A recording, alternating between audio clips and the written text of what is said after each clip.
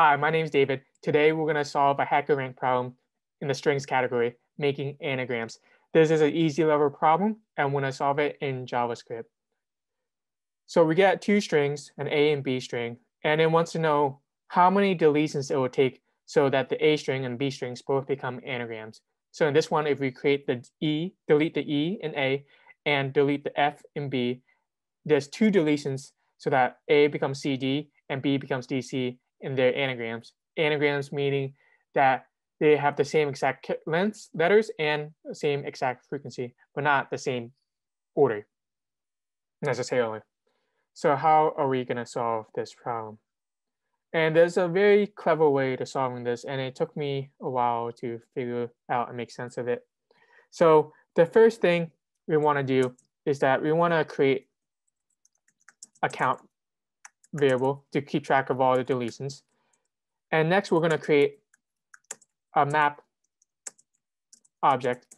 And we're going to use this map object to keep a balance of the unique characters in A and how many times it appears. And then we're going to use B to balance it out. And you'll see as we'll do this.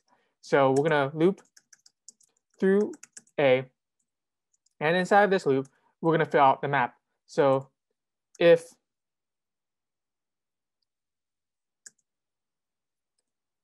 the current the if the character is not in the map.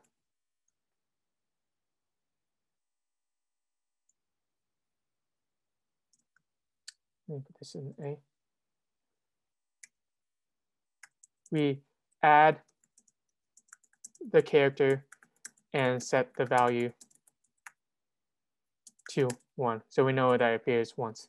And then if we is there if the character is already in the map, we increment the count, else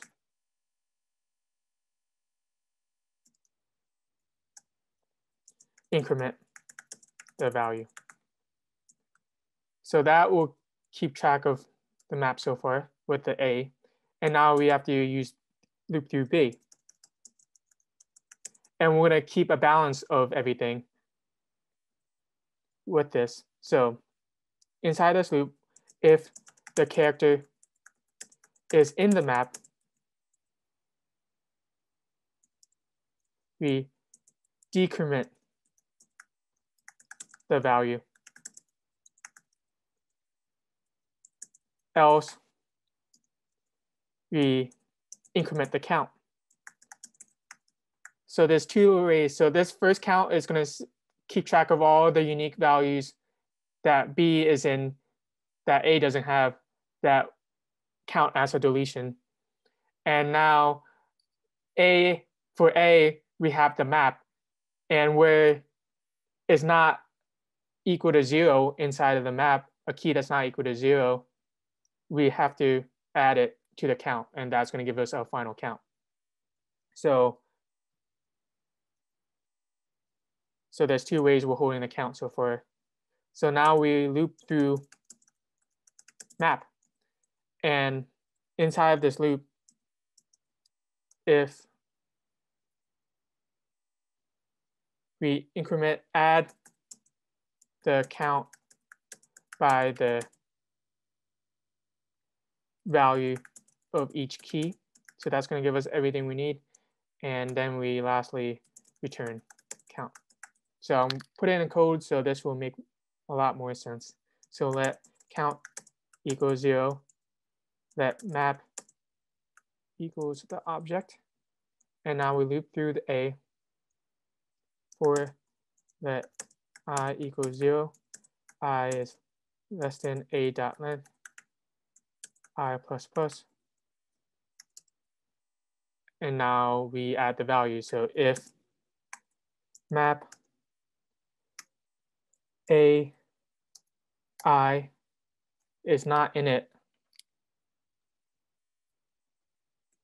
we add the value and set it equal to one.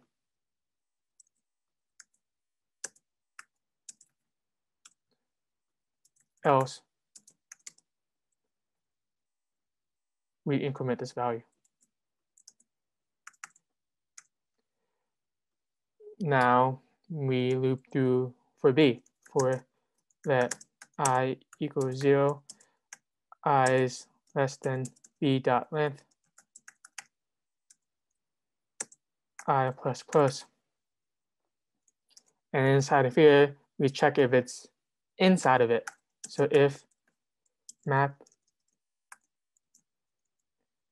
b i is inside of it, we have to decrement the count.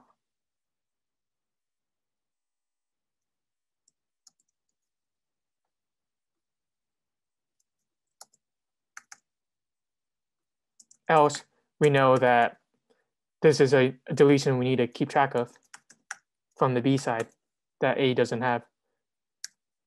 And now to get all the counts from the A side, we loop through the map for that key in map. And we're going to count plus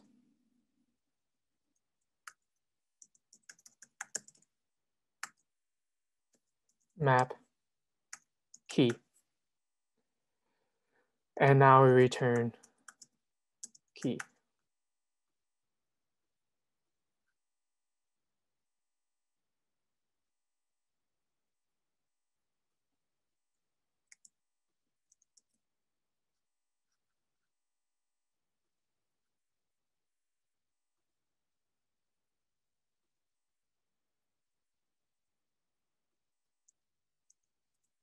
Just making sure these are correct.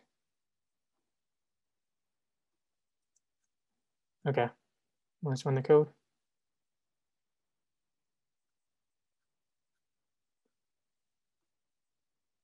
Turn count.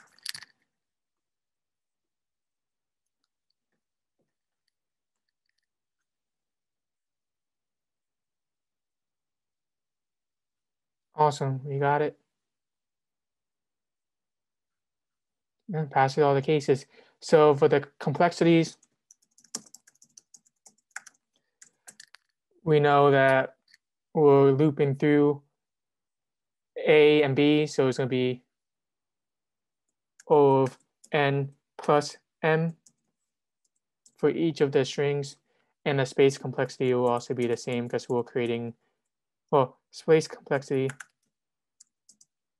will just be O of n because we're creating the map defining with A.